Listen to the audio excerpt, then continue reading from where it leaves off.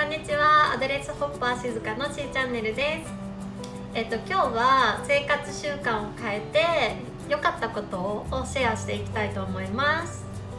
えっと生活習慣変えるってこうなんかこう環境を変えたりとかこう何かを始めたりっていう、まあ、イメージが強いと思うんですけど私の場合は、えーと、やめるっていうことをして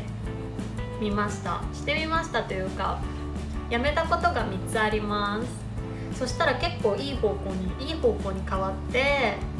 そうなんか良かったなって思うことが多々あったのでそれを今日シェアしていけたらなって思っています。で、えっと、まずね1つ目なんですけど私はアドレスホッパー生活になってから、えっと、テレビを見るのをやめました。はい。もうずっとテレビっ子だったんですけどあの本当に朝起きてテレビつけて夜寝るまでずっとテレビをこうずっとつけっぱだったんですけど結構ねあの仕事中とかテレビつけっぱだとこうやっぱ反応して作業効率も落ちちゃうしなんかこの番組が終わるまでちょっとお風呂入るのやめようとかなんかテレビの区切りでこうなんか動くことが多かったのでそれを一切やめたんですね。そしたら本当になんかこう時間に余裕ができて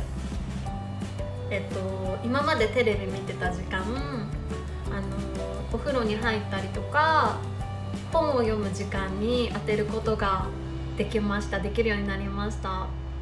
しかも最近なんかお風呂の中であの Kindle であの本を読んでるのであのもう一石二鳥お風呂入りながら本読んでっていう感じなのでで上がってからなんかこうストレッチしたりとかいろいろまた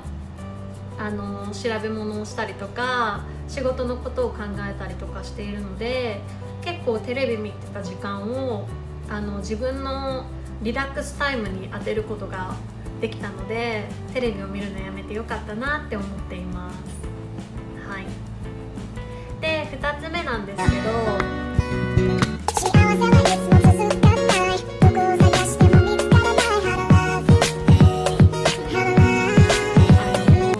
寝る前の携帯を見るのをやめました。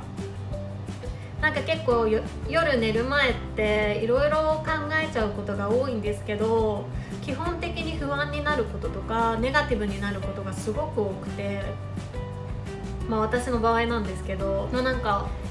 7月？8月とかちょっと不眠症みたいになっちゃった時があって全然寝れなくって。そうなんですけどでも今あの夜寝る前にこう携帯を見るのをやめたら本当に11時ぐらいにはもうベッド入るようにしてるんですけどもうスッて寝れるようになっちゃってはいそれは本当に良かったなって思っています。でアラームもオフアラームっていうかその LINE が来たりとかそういう通知もオフにしちゃってなるべくこうなんか寝る前は携帯をいじるのをやめるようにしました。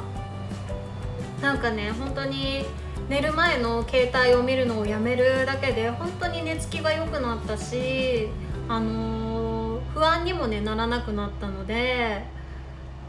でなんかもし調べたいこととか気になることがあれば朝に回すんですよ。もう早く起きてその分朝調べたりとかするように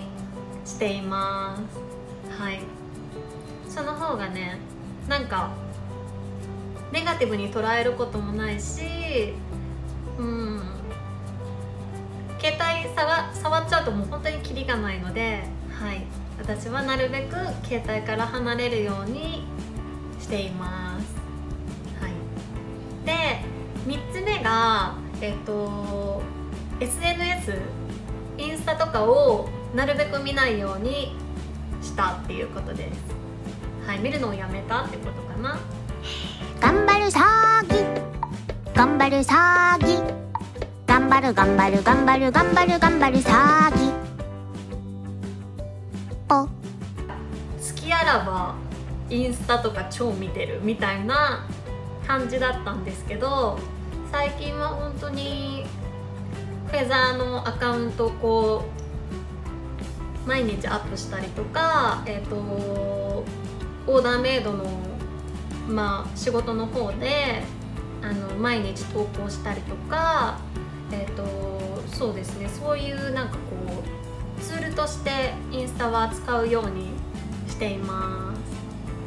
その方がなんかこううん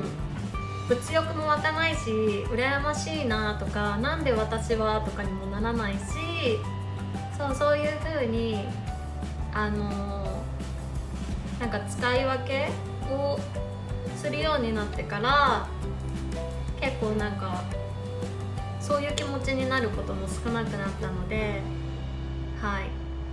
なんかたまにはこうインスタを見ない時間とかインスタとかをこう SNS をなんかこうから離れてみるのもいいんじゃないかなって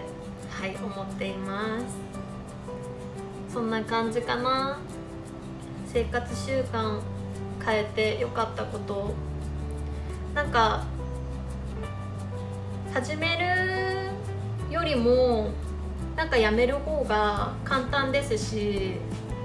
その空いた時間をこう自分のなんだろうやりたかった時間とかなんか何もしないをやる時間にしてもいいと思いますし結構ねそういうものから離れると時間ができて自分と向き合う時間もできてすごくあのいい時間が過ごせるようになるんじゃないかなって思っています。今日ちょっと長くなっちゃったんだけどそんなところで今日は終わりたいと思います。今日も見てくれてありがとうございます。また明日も見てね。バイバーイ。